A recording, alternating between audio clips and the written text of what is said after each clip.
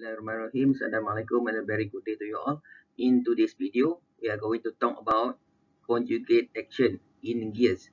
Okay, this chapter is taken from the chapter 13 from Shigley Mechanical Engineering Design book and the pictures is taken from Google Images itself. Okay, so let's begin. Okay, what is a conjugate action? Conjug uh, okay, you can read the text text says that the following discussion assume teeth to be perfectly formed, perfectly smooth, and absolutely rigid. Such an assumption, of course, is unrealistic because application of course of force may cause deflection. So, uh, just to uh, uh, remind you and tell you about uh, everything when we are doing uh, when we are developing the theory of anything, um, we we usually we assume uh, that it is in a perfect condition. Okay? It is a in perfect condition. For example when you are doing simulation on something using uh, finite element analysis uh, uh, you will uh, consider everything is in perfect condition. Uh, but of course you cannot consider uh, gravity the flow of uh, uh, wind and everything. You assume uh, no uh, no wind flowing. But actually wind is flowing and gravity no gravity involved. Actually gravity is involved. Uh, that is uh, when you are doing simulation on finite element analysis. The same goes for uh, any theory uh, for this case in we are talking about gear. Uh, uh, we assume the teeth will be perfectly formed which in reality is not going to happen. Okay? Uh, rigid in reality uh, uh, wear and will happen. Uh, the teeth after prolonged usage is not rigid anymore. But it's okay. We we are developing the the theory developing developing the calculation and everything. So so that is uh that is that is okay. No problem.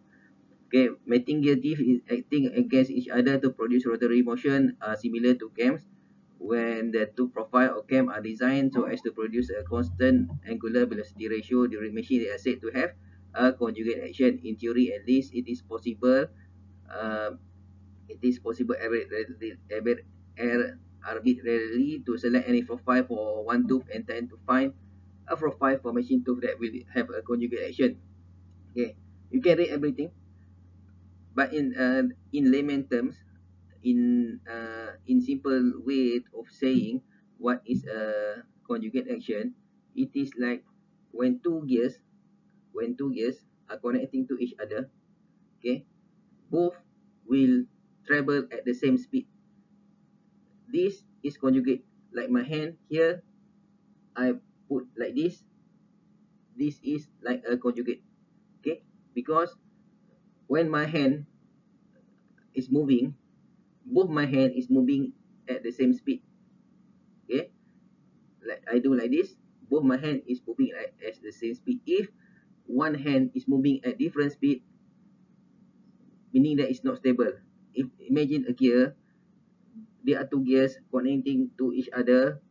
One gear supposed to be what both gears are moving at the same speed as we we discussed in the later slide. Imagine one gear is different speed one gear is different speed. Okay? Because of uh, you can imagine why that happen uh, uh, Im imagine both gear are different speed one uh, higher one high speed one low speed. Then they connect to, together. The gear will not be stable. The gear will not be stable and uh, it will broke away it will fly away. Then okay? That is why uh, the term conjugate action happen uh, uh, the the easiest way to say it that when both gear are meshed together it will form a conjugate action like this. And it travel it will travel at the same speed which is uh, in the gear term is called constant angular velocity ratio. Angular velocity ratio. This is what we will discuss uh, in the next okay this is the conjugate action. Uh, can uh, when one curve surface pushes against another figure 13.6 the point of contact occurs when two surfaces are tangent to each other at point C. You see here point C. Okay and forces uh, and the force at any instant are directed along the common normal tab of the two curve. The line AB representing the direction of action of the force is called line of action the line of action we intersect the line of uh, center line OO here O O here. So here this is line O. At some point P angular velocity ratio between two arms is inversely proportional to the radii okay. Circles are drawn from point P which center of P circle. Remember P circle remember that I tell you when you are learning about gear bring the slide uh, bring the print out of the nomenclature with you so you, so that you can refer what where is the location of pitch where is the location of uh, the terms that uh, uh, given? Okay it is it is very beneficial to you. Okay at least uh, you have something beside you. Okay, so, so that you can refer. Uh, okay so the line of action. The important thing in this slide is the term line of action. Okay here my hand okay i don't have a gear example with, with my uh, with me myself today but i can uh, resemble gear with my hand okay? My hand have a teeth this is a called let's say this is called a teeth teeth of a gear. This is the base. This is and this is the pitch both have uh both have gear okay? And then when it contact both are contact this is the line of action this is the line of action. The the one that holding my hand here okay you can imagine this this. You can imagine the straight line. Imagine the straight line. This is the line of action. In that uh, when both gear are connected together uh, how many gears you can count okay? If you have small gear you have uh, big gear when both are meshed together you can count how many teeth are connected maybe two maybe five teeth maybe more teeth. And then the line of contact is the line of action. Okay? The line of action. Okay.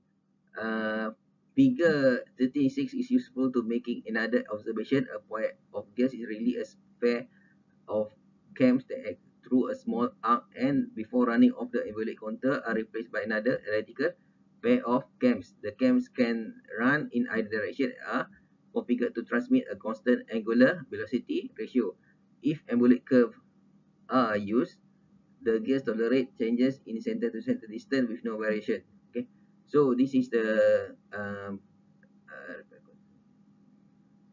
okay. We will talk about uh, uh, in the next in other videos in other videos there are uh, one subtopic uh, talking about involute uh, involute gear itself okay uh, okay but where is the involute curve are used in okay there is uh, if you can read it you can relate to this next okay you can relate to this picture uh, Okay, transmit motion. Uh, transmit motion is an constant angular velocity ratio. The point point must be fixed. All the line of action for every instantaneous point of contact must pass through the same point P. Where is point P? Bring uh, if you have the textbook with you, you can immediately see where is the location of point P. Uh, it that's why important for you to have the textbook or to have the printout with you all the time when you're studying you can pinpoint the location of uh, that uh, this mentioned here, point P. Okay. Uh, in the case of envelope profile, it will be shown at all points of contact occur on the same straight line AB. Normal contact of uh, to profile the point contact coincide with line AB. Thus, this profile will transmit uniform rotary motion. So, you remember uh, there is a term called pinion. There is a term called gear. When in your motorcycle, you can see uh, there is a term called driver, there is a term called driven. The, the, the one that is attached to motor that give the force to the to the uh, to the other one, this is called the driver. Uh, let's say on your motorcycle, okay, your motorcycle, the the the wheel behind attached to the motor is the driver. The wheel in front, the in front the front wheel, okay, attached to the uh, behind wheel to the rear wheel. It is called the driven. Okay, in the case of gear, the same concept. When both gear are connected, okay, one that giving the force is called the pinion. One that accept the force is called the uh, is called the gear. But both are the gear. Both both are called the gear.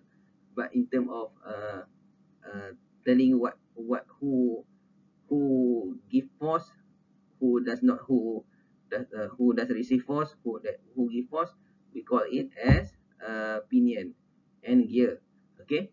About the pinion, when the when the force from the gear, okay, when the force from the pinion pull, pushes the gear, pushes the gear, okay, it will transmit the motion along along uh, through the line of action through the line of action meaning that the force how how much force given by the pinion is transmitted to the gear through the line of action okay?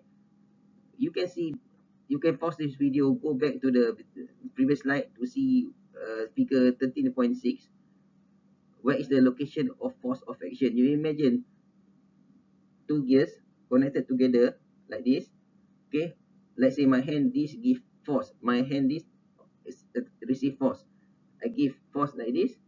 This is the line of action okay? And it is going to transmit the force through the line of uh, uh line of action which is in this case it called ab line. Okay. So that's all for the uh, video today. In the next video we're going to talk about involute properties. Okay? So thank you very much